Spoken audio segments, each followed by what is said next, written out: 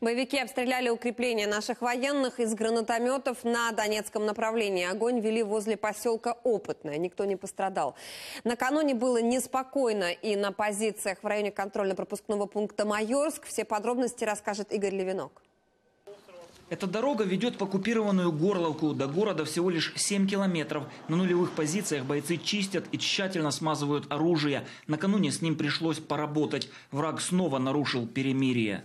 Ми перші ніколи не починаємо. Ми сидимо, терпимо, терпимо, надоїдає, вже тоді даємо відповідь. Солдаты говорят, началось с того, что группа противника подошла к позиции очень близко и открыла огонь. Завязался бой.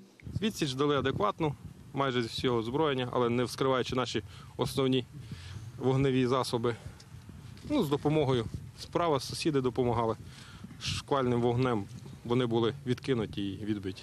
Военные утверждают, днем здесь в основном тихо. Недалеко расположен КПВВ «Майорск». Боевики не стреляют, потому что каждый день до 10 тысяч человек с оккупированной территории проезжают здесь. Они направляются в мирную Украину за покупками. Но с вечера ситуация меняется.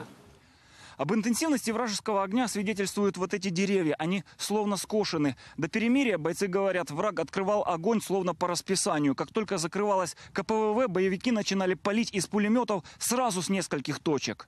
А от після перемиря, з 5 березня, було, так протрималось нас тут аж до післявчора. После ответного огня вражеская группа отошла, но стрельба со стороны противника продолжалась еще несколько часов.